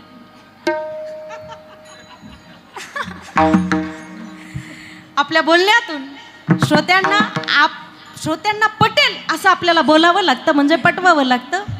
आणि एखादा जास्तच विचित्र बेला त्या भेटला त्याला तिकडंच कटवावं लागतं. याला कीर्तन असं म्हणतात. बरं का? पण तू चौचरणी प्रमाण ताईंनी दिलं खऱ्या अर्थानं काही काही ठिकाणी महाराज पाठाच नसतो. आणि ज्याचा पाठा नाही त्याला लय हौस असते. ते जास्तच पुढं पुढं येईल त्याला माई घेऊ माई घेऊन बसतो पण म्हणायचं काय हेच माहिती नाही ना. असंच एकदा कीर्तन चालू होतं. आता कीर्तनासाठी टाळकरीच मिळ नवरात्र उत्सव होता. टाळकरीच मिळानात महाराज. टाळकरीच मिळानात. म्हणून मी आपलं रस्त्यानं जात असताना आवाज आला. म्हणून ते चार जण घेऊन गेले सोबत. मला काय माहिती आहे फडातले वारकरी आहेत. फडातले वारकरी होते तुमच्या लक्षात येईल. थांबा जरा. दृष्टांत पूर्ण ऐकत जा तिथं कीर्तनाच्या स्टेजवर घेऊन गेले. आणि स्टेजवर घेऊन गेल्यानंतर कीर्तन चालू झालं. बरं मी जे म्हणन तेच म्हणावं का नाही यांनी? मी प्रमाण दिलं. ब्रह्म विष्णू आणि महेश्वर. सामोरे बसले. मला हे दत्त गुरु दिसले. मला हे दत्त गुरु दिसले. असे शंभर गाणे म्हणून बरं का मी. तुम्ही जर सांगितलं ना ताई तुम्ही फक्त गायनच करा. असे शंभर गाणे म्हणून. पण आपलं गाणे जर म्हणत राहिलं तर इकडे बोलायचं राहून जायचं सगळं. नाही तर काकडा व्हायचा काकड्याची वेळ व्हायची. नाही काकडा करता करता आमची वाकडी व्हायची वेळ आली ताई तुमचा कुठं काकडा? नाही का? असं मी ज्या वेळेला म्हटलं आता पाठीमाग मी जे म्हणते तेच म्हणावं का नाही त्यांनी? ते फाडातले वारकरी होते. फाडातले वारकरी बाबा.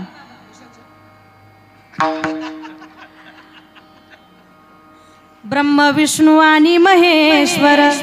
सामोरे बसले मला हे दत्त गुरु दिसले. मी ज्या वेळेला असं म्हटलं मी जसं म्हटलं तसंच मागं म्हणावं का नाही दादा त्यांनी? ते महाराज मूर्तिमंत टाळकरी होते. ही लाग बाई दत्त गुरु दिसले.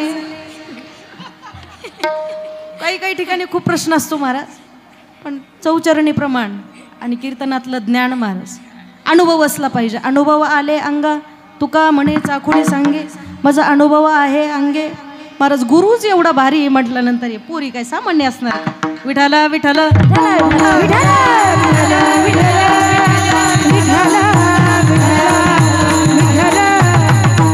काही काही ठिकाणी गेल्यावर लईच अनुभव महाराज दाजी काय सांगाव तुम्हाला? वेगळे वेगळे अनुभव.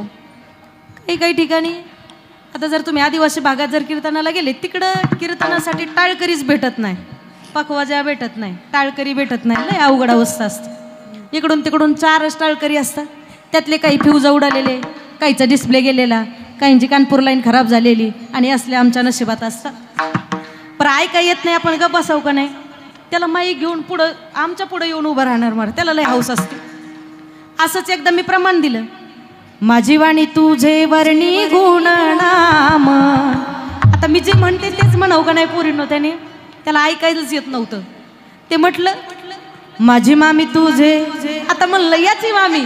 माझ्या कीर्तनात. हिचं काय काम आहे म्हणलं माझ्या कीर्तनात दुसरं प्रमाण दिलं मोगरा फुलला मोगरा फुलला.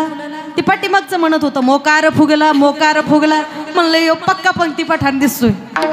पंक्तीवरच सुटलेला हे सप्ताह झाला का ते सप्ताह ते सप्ताह झाला का ते सप्ताह चाललाच आळंदी पंढरपूरला नाही असले काही काही महाभाग असतात महाराज. काय चाललं होतं आपलं? काय चाललं होतं? पाठीमागं बसलेलं काय चाललं होतं? कीर्तन हा. बरं हे जर तुम्ही आम्हाला विचारायला लागल्या तुम्हाला कशाला आणलं इथं? सुदामा ब्राह्मण दुःखे दरिद्रे पिढीला. मुठभर पोहे भगवंताला दिले. पण त्या मुठभर पोह्याच्या बदल्यामध्ये भगवंतानं काय दिलं? सोन्याची सुदाम नगरीच देऊन टाकली. ती सुदाम नगरी दिली पण काय दिलं फक्त सुदाम देवाने शुद्ध भाव देखोनी आ. शुद्ध भाव महत्त्वाचा आहे. भाव भगवान परमात्म्याला दिला आणि त्याच्या बदल्यामध्ये भगवंताने सोन्याची सुदाम नगरी देऊन टाकली मार. चला हे उदाहरण तुम्हाला थोडंसं कमी वाटत असेल. माझी शबरी माता पहा तुम्ही. बिल्लाची शबरी हो. पण तिच्या अंतकरणातला भाव किती श्रेष्ठ होता. असं म्हणतात जेव्हापासून देवाची वाट पाहत होती ना तेव्हापासून तिनं डोक्याला कधी कंगवा लावला नव्हता. तिनं अंगातले वस्त्र कधी बदलले नव्हते. तिनं कधी पाया चप्पल घातली नव्हती. आणि भगवंताची वाट पाहत होती. किती वर्ष वाट पाहिली हो? मांडिगाला. किती दिवस वाट पाहिली भगवंताची? दोन दिवस नाही. चार दिवस नाही. चार महिने नाही एक वर्ष नाही बारा वर्ष नाही ऐंशी हजार वर्ष भगवंताची वाट पाहिली. जब मेरे राम जी का आवन होगा शबरी की कुटिया का पावन होगा। आएगे प्रभु राम तो मैं आसन पे बिठाऊंगी। मीठे मीठे बेर अपने हाथों से खिलाऊंगी। वाट पाहत होती भगवंताची. वाटच पाहावी असं वाटतंय ना तुम्हाला जीवनामध्ये? वाट पाहावी वाटते ना? कोणाची वाट पाहू नका हो? देवाची वाट पहा. घणू माझे गुणा गुणा वारा वाहेरुण झुणा. भवतार गुहा काढा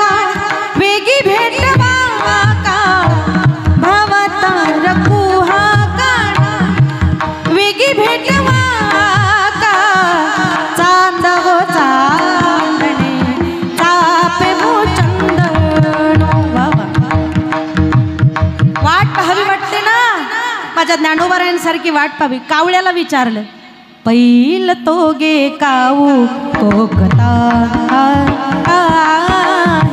ए कावळ्या माझा देव कधी येईल जरा सांगशील का? माझा देव कधी भेटेल मला सांगशील का? वाट पाहावे वाटते ना? कुणाची वाट पाहू नका हो भगवंताची वाट पहा. भगवंताची वाट पाहावी ऐंशी हजार वर्ष माझ्या शबरीनं वाट पाहिली भगवंताची. त्यावेळेला देव जन्मालाच आले नव्हते. शबरीसाठी भगवंताला जन्माला यावं लागलं. जन्माला आले देव. जन्माला आल्यानंतर उद्या राज्याभिषेक होणार. पण कैकईनं सांगितलं महाराज रामाला राज्याभिषेक नाही करता येणार. माझ्या भरताला राजगादी द्या आणि रामाला वनवासात पाठवा. रामाला वनवास मिळाला. वनवासात निघाले प्रभू. खूप मोठा कथाभाग आहे. वनवासात निघाले. जात असताना लखनजी निघाले. आणि पाठोपाठ सीतामय्या निघाल्या. जानकी माता निघाल्या. प्रभूंनी सांगितलं जानकी तू माझ्यासोबत वनवासात येऊ नको. तू माझ्यासोबत वनवासात येऊ नको तू खूप नाजूक आहेस. तोंडातून खाल्लेलं पान तुझ्या गळ्यातून दिसावं. इतकी तू नाजूक आहेस ग जानकी. तू माझ्यासोबत येऊ नकोस. त्या वनवासातल्या अनंत असणाऱ्या वेदना तुला सहन होणार नाही तू कधी तू वनवासात येऊच नको. पण त्यावेळेला माझ्या सीतेच्या तोंडातून निघालेले उद्गार किती गोड आहेत सांगते तुम्हाला. थोडासा विको दे त्याला. सिस्टीममध्ये निरोप कसला माझा घेता? कधी गीत रामायण ऐकले का तुम्ही? घरी गेल्यानंतर यूट्यूबवरती जा. आणि यूट्यूबवरती गेल्यानंतर सुधीर फडके गीत रामायण असं सर्च केलं की ते सगळे गीत आपल्यासमोर येतात महाराज. इतकं गोड गायलंय ना? आपल्या अंतःकरणातल्या सगळ्या भावना तिथं ओतलेल्या आहेत. जानकीच्या मुखातून निघाले उद्गार किती गोड आहेत. निरोप कसला माझा घेता. जेथे राघव तेथे सीता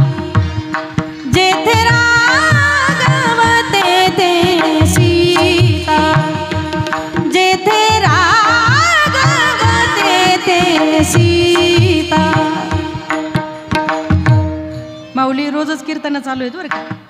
ती काय कीर्तनाने आवाज बसलाय? जेथे राघव तेथे सीता.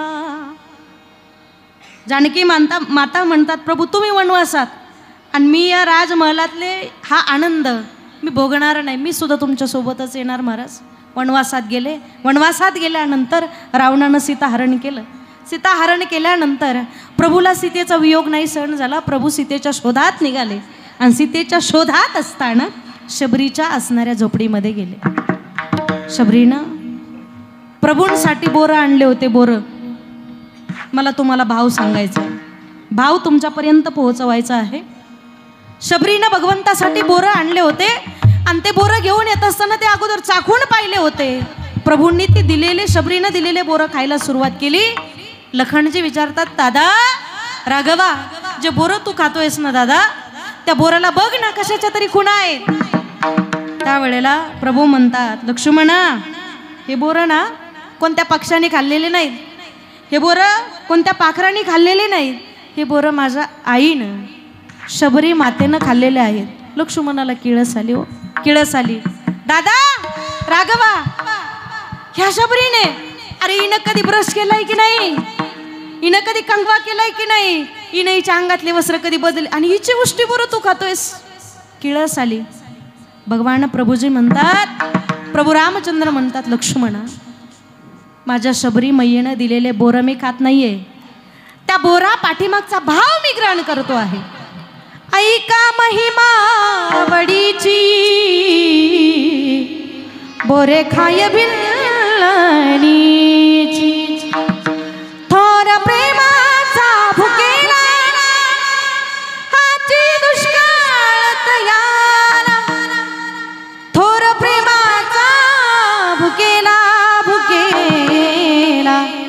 थोर प्रेमाचा भुकेला.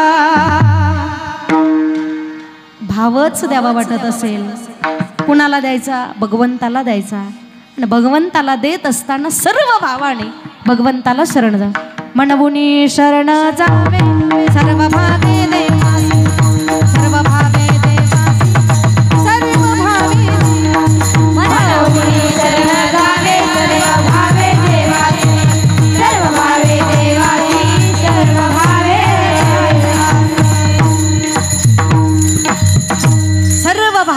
देवासी भगवंताला सर्व भावाने शरण जायचंय. पण कोणत्या देवाला शरण जायचंय?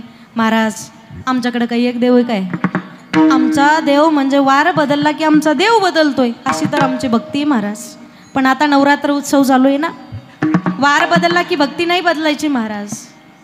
नऊ दिवस नऊ प्रकारची भक्तिशास्त्रात सांगितली. श्रवणम कीर्तनम विष्णू स्मरणम पादसेवनम अर्चनम वंदनम दास्यम सख्यम आत्मनिवेदनम. नऊ दिवस नऊ प्रकारची भक्ती करायची. नऊ दिवसच का करायची? तर शास्त्रामध्ये त्याचे कारण सांगितलेत. माझ्या भगवतीनं जगदंबेनं भगवान परमात्म्याची भगवान परमात्म्याची म्हणण्यापेक्षा त्या भगवतीनं अवतार घेतला आणि कशासाठी घेतला? महिषासुराचा वध वध करण्याकरिता. आणि महिषासुराचा वध करत असताना तिला नऊ दिवस लागले हो. तो वध करत असताना तिला ते युद्ध करत असताना तिचे नऊ दिवस गेले. आणि त्या नऊ दिवसामध्ये अनेक प्रकारचे राक्षस तिच्या वाटेत येत होते. त्या प्रत्येकाचा तिनं संहार केला. प्रत्येकाचा तिनं नाश केला. नाश करत असताना अनेक प्रकारचे राक्षस त्याच्यामध्ये चंड त्याच्यामध्ये मुंड असे नावं त्यांचे होते. ज्या वेळेला तिनं चंड मुंडाचा संहार केला ना त्यावेळेला तिला काय नाव प्राप्त झालं? चामुंडा. नाही का?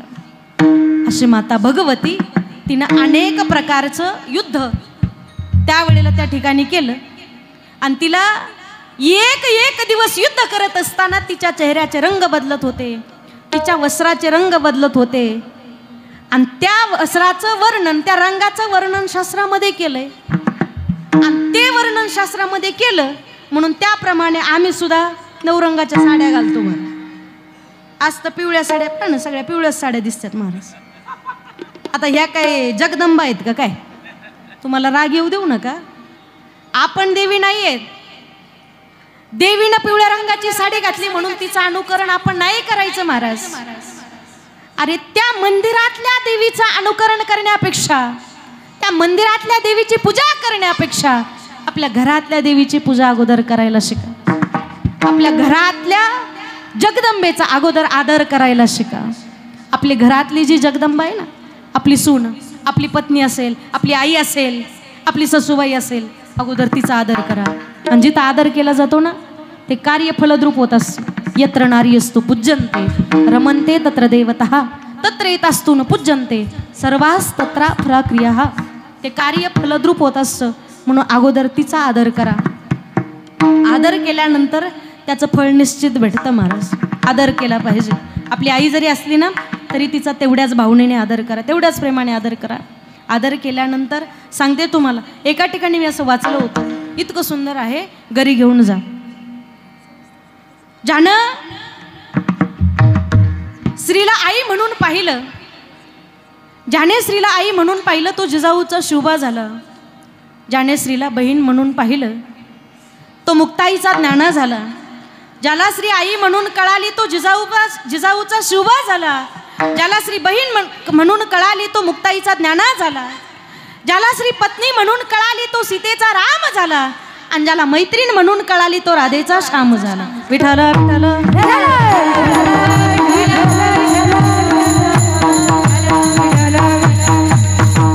अगोदर तिचा आदर करा. अगोदर तिच्यापासून सुरुवात करा. अरे ती म्हणजे दुसरी तिसरी कुणी नव्हे? ती प्रत्यक्ष जगदंबा आहे. ती प्रत्यक्ष मा भगवती आहे. अगोदर तिचा आदर करा. अगोदर तिचं पूजन करा. अगोदर तिचं स्वागत करा. आपली तुम्ही काय करता? नऊ नऊ दिवसाचे उपवास पकडता. उपवास धरता. नऊ नऊ दिवस उपवास करता. नऊ दिवस कडक उपवास करतील. सुनबाईचं तोंड पाहिलं की हिच्या थोबडावरती आठ्या पडतात महाराज. असे किती उपवास केले? अशा किती नवरात्री केल्या? म्हणजे जगदंबा प्रसन्न होणार आहे हो. बिना चप्पलचे उपवास करतात काही काही भगिनी. बिना चप्पलचे उपवास करतात. नुसत्या महिलाच करत नाही तिकडं पुरुष वर्ग सुद्धा नऊ नऊ दिवसांचा उपवास करतात. काही काही बिना चप्पलचे उपवास करतात. नऊ दिवस बिना चप्पलचा राहतो आणि दसऱ्याच्या दिवशी एक स्वतःची आणि एक दुसऱ्याचीच घालून जातो. विठाल विठाल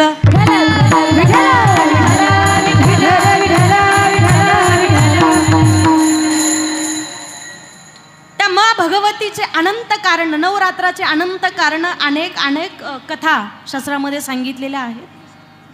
नऊ दिवस तिनं युद्ध केलं आणि नवव्या दिवशी महिषासूर धावून आला आणि महिषासुराचा वध तिनं केला.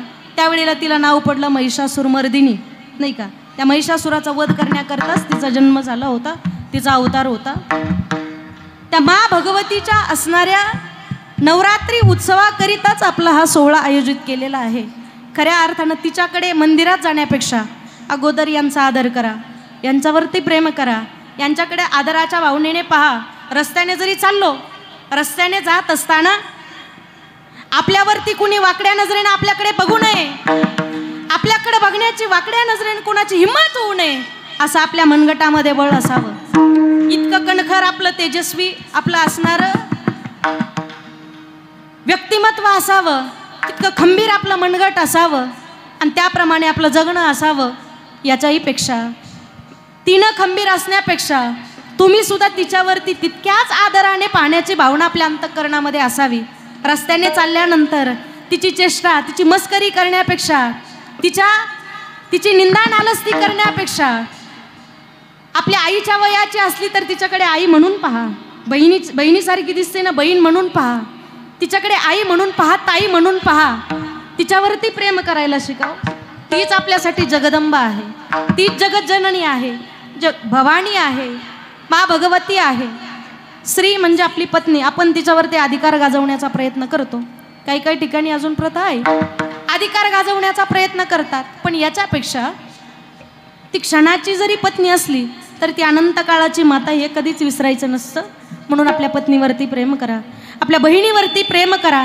आपल्या लाडक्या मुलीवरती प्रेम करा हो नऊ दिव नऊ नऊ दिवसाचे उपवास धरता.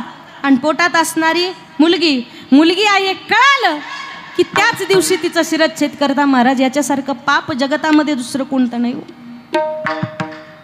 याच्यासारखं पाप जगामध्ये नाही महाराज. आणि हे पाप आपण करतोय ना म्हणूनच समाजात आज मुलींची संख्या कमी झालेली आहे.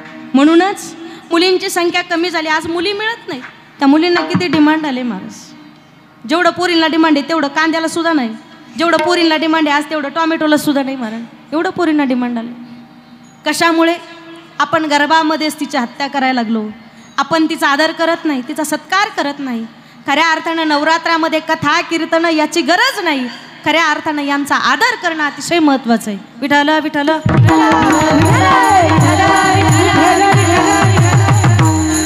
त्या मा भगवतीचा ती मा भगवती म्हणजे नेमकी कोण आहे? तर माझ्या म जगद्गुरू आहे माऊली ज्ञानोबराय शास्त्रामध्ये जे काही संत आहे अधिक करून सर्व संतांचं तेच म्हणणं आहे. जो पंढरीचा पांडुरंग परमात्मा आहे ना तीच आमची आई आहे. एग एग विठाबाई माझे पंढरीचे आई किंवा कुळीची ही कुळदेवी केली ठावी संतांनी. आमची कुळदेवी कोण आहे? तर पांडुरंग परमात्मा आहे. धाव घाली आई. तिला आई म्हटलं. आई म्हटलं आता पहाते सकाळी. तिलाच आई म्हटलंय महाराज. तीच या जगाची आई आहे. तीच मा भगवती आहे. तीच जगदंबा आहे. आणि त्या जगदंबेचा अनेक संतांनी गोंधळ घातला. तुकोबारांनी घातला. शांती ब्रह्मनाथ महाराजांनी घातला. आणि यांच्याही अगोदर शास्त्रामध्ये हा गोंधळ कुणी घातला असेल? तर हिमालयाचे राजे दक्ष प्रजापती. भागवत कथा ऐकली असेल ना त्या कथेमध्ये तो गोंधळ त्यांनी घातला. आई भवानी तुझ्या कृपेने तारीसी भक्ताला. अगाध महिमा तुझी माऊली वारी संकटाला आई कृपा करी माझ्यावरी रागवी तोरात सारी माझ्यावरी जागवी तोरात सारी. आज गोंधळा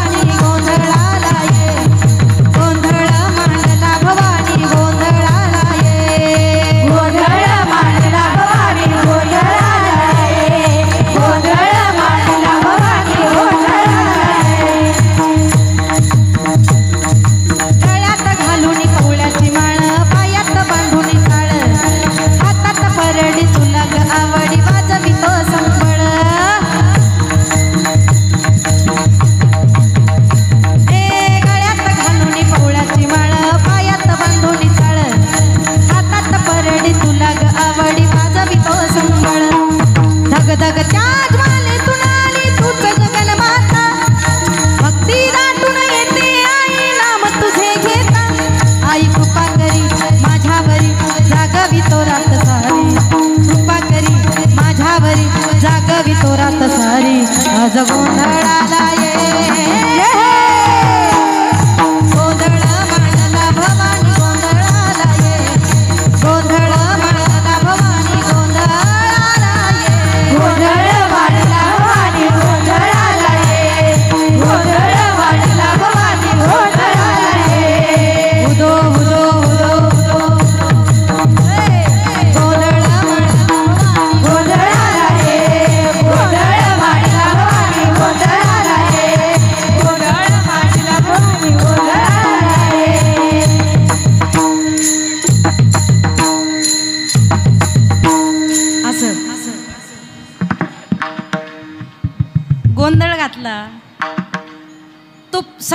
पहिला गोंधळ कुणी घातला? तर दक्ष प्रजापती. हिमालयाचे राजे आणि पार्वतीचे वडील. त्यांची एकच इच्छा होती की पार्वती माझ्या पोटी जन्माला यावी. त्याच्यासाठी अनेक यज्ञ याग तपस्या त्यांनी केल्या आणि त्या गुहेमध्ये त्यांनी तो गोंधळ घातला. आणि मग पार्वती माता त्यांच्या पोटी जन्माला आल्या. पण पार्वती मातेची आट होती. दोन आटी त्यांनी घातल्या. पहिली आट पहिली आट कुठली घातली? तर मला शंकर भगवान पती पती म्हणून मिळावेत ही पहिली अट घातली. आणि दुसरी अट जर मी म्हणेल तसं जर माझ्या मताप्रमाणे नाही झालं किंवा माझा जर अपमान झाला तर दक्षा प्रजापतीला सांगूनच ठेवलं होतं जर माझ्या मताप्रमाणे नाही झालं तर सगळं उद्ध्वस्त करील. तोच कथा भाग भागवत कथेमध्ये सांगितलेला आहे. दक्ष प्रजापतीनं यज्ञ केला आणि यज्ञ केल्यानंतर त्या यज्ञामध्ये पार्वती मातेच्या मनासारखं झालं नाही अपमान झाला शंकर भगवानचा. अपमान झाला. म्हणून पार्वती मातेनं काय केलं? ते यज्ञकुंडामध्ये स्वतःला समर्पित केलं. आणि ही गोष्ट जेव्हा भगवान शंकरजींना कळाली धावत पळत आले आणि आपल्या जटेतली एक बट उपटून काढली. जमिनीवरती जोरात आपटली आणि त्यातून एक वीरभद्र नावाचा राक्षस बाहेर आला. आणि तो यज्ञकुंड तो यज्ञमंडप त्या वीरभद्रानं उद्ध्वस्त केला. कथावा खूप गोड आहे. उद्ध्वस्त केला. उद्ध्वस्त केल्यानंतर ज्या वेळेला शंकर भगवान त्या यंड यज्ञकुंडाजवळ आले आणि पार्वती मातेचं असणारं शरीर जळ जळालं होतं अर्धवट जळालेलं होतं ते अर्धवट ज जळालेलं शरीर भगवान परमात्म्याने आपल्या खांद्यावरती घेतलं. ऐकताय ना दादा? खांद्यावरती घेतलं आणि खांद्यावरती घेऊन पूर्ण ब्रह्मांडामध्ये आक्रोश करू लागले रडू लागले तांडव करू लागले नृत्य करू लागले राग आला. भयंकर राग आला महाराज. इतका राग आला सगळ्या ब्रह्मांडामध्ये फिरू लागले धावू लागले पळू लागले. काय करावं सुचत नव्हतं. खांद्यावरती ते शरीर टाकलेलं आहे अर्ध जळालेलं आहे.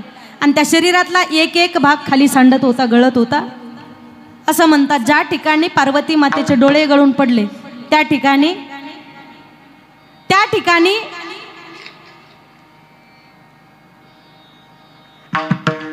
ज्या ठिकाणी डोळे गळून पडले त्या ठिकाणी नेत्रवती देवी. महाराष्ट्र आणि महाराष्ट्राच्या बाहेर अनेक मंदिर आपण पाहतो नेत्रवती देवीचं मंदिर तयार झालं. ज्या ठिकाणी कमरेजवळचा भाग पोटाजवळचा भाग पार्वती मातेचा खाली सांडला ना त्या ठिकाणी कामाख्या मंदिर. आपण कर्नाटकामध्ये गेल्यानंतर पाहतो ते कामाख्या मंदिर त्या ठिकाणी तयार झालं.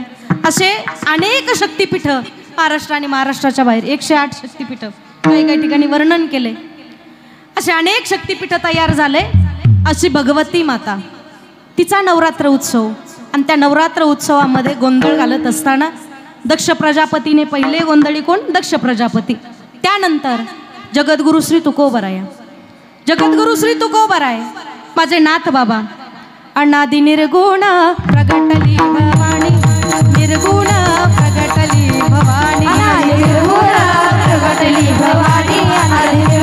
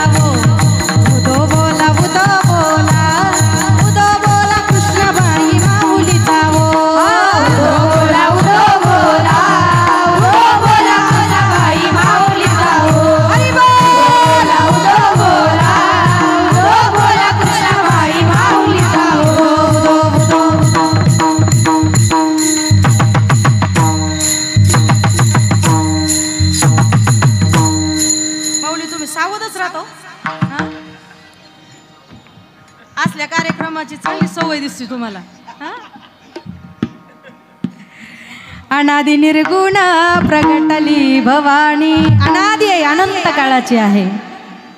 आणि त्या भवानी मातेचा हा नवरात्र महोत्सव. आणि त्यामध्ये सेवा करण्याचं भाग्य प्राप्त झालं महाराज. आनंदाची गोष्ट आहे. काही काही म्हणतील ताई अभंग दुसरीकडेच राहिला. पण आता देवीचा नवरात्र उत्सव आहे म्हटल्यानंतर आता देव सांगावं लागेल का नाही? त्या मा भगवतीची उपासना तिची तपस्या तिची साधना करणं खूप महत्त्वाचं आहे. काही काही माता भगिनींना माझा दंडवत प्रमा प्रणाम आहे. नऊ नऊ दिवसाचा उपवास करतात महाराज. आमच्याच्यानं नाही शक्य होते आम्हाला पाच दिवसाचं जरी म्हटलं आता पाच दिवसाचा द्या सोडून. एकादशी जरी म्हटलं महाराज ती काही शेवटपर्यंत पार पडत नाही. आमचं सांगत नाही आम्ही. पण काही काही महाभाग आहेत ना महाराज. एकादशीच्या दिवशी पण दीड दीड भाकरी खातात महाराज. काही काही लोक आहेत ना. पण नाही काही करता आलं तर निदान एकादशी तरी माणसाच्या जीवनात असावी नाही का? एकादशी सोमवार हे व्रत माणसाच्या जीवनामध्ये असावं. आणि त्याचंही पलीकडं जे व्रतशास्त्रामध्ये सांगितलेले आहेत नवरात्रीचं व्रत सांगितलंय ते व्रत त्या नियमानं आपल्याकडून पार पडलं पाहिजे. घटस्थापना आहे उपवास आहे. हे सगळे व्रत माता भगिनी पार पाडत असतात. महाराज काही काही भगिनींची खूप श्रद्धा आहे. खूप विश्वास असतो आणि त्या विश्वासानं त्या बिचाऱ्या सगळे काही व्रत पार पाडत असतात. त्यांच्यासाठी माझा सलाम असेल दंडवत प्रणाम असेल. असो तुकोबाराय म्हणतात म्हणूनही शरण जावे. कोणाला शरण जावं? तर देवाला शरण जावं. भावाने शरण जावं. आणि का म्हणून शरण जावं? अभंगाच्या दुसऱ्या चरणामध्ये. तो हा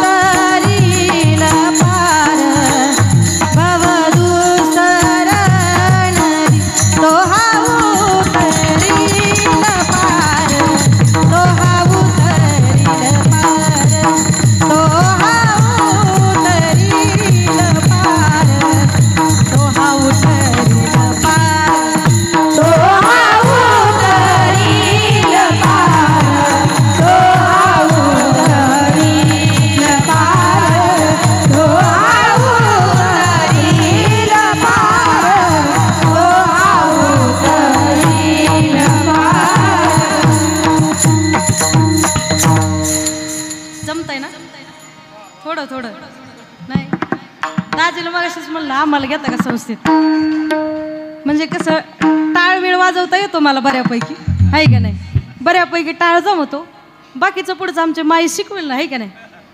तो हा उतरील पार. भवदुस्तर नदीचा भगवान परमात्मा आपल्याला पलीकडच्या तीरापर्यंत घेऊन जातो महाराज त्याची जबाबदारी आहे. तो पलीकडच्या तीरापर्यंत आपल्याला घेऊन जातो म्हणून शरण जावे. का हो तुकोबर आहे अजून कशासाठी भगवंताला शरण जावं? बहु आहे करुणावंत अनंत हे नामजा म्हणून शरण जावे. विठ्ठल विठ्ठल.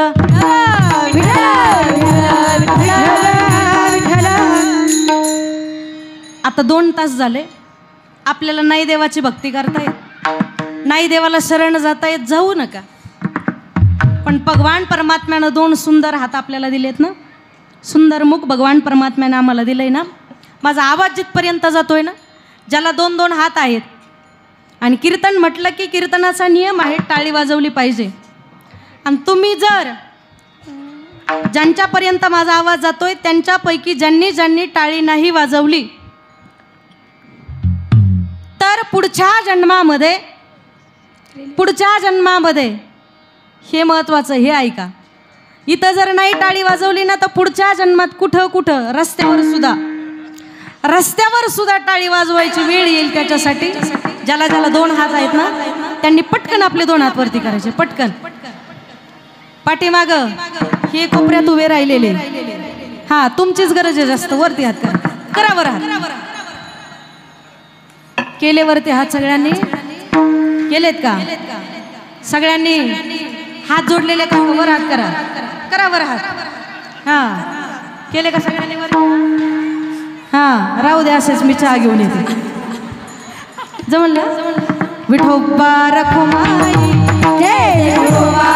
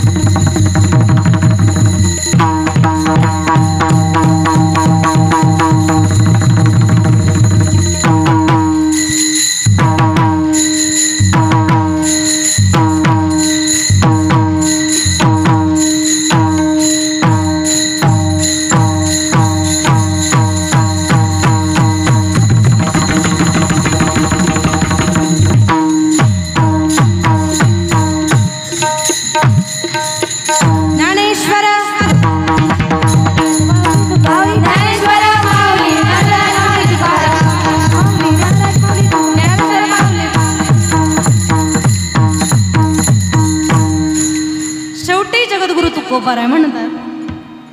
त्या भगवंताला का म्हणून शरण जावे? तर साक्ष साक्षात असणारा तो परमात्मा आज प्रगट झाला. म्हणून शरण जावे अभंगाच्या शेवटचा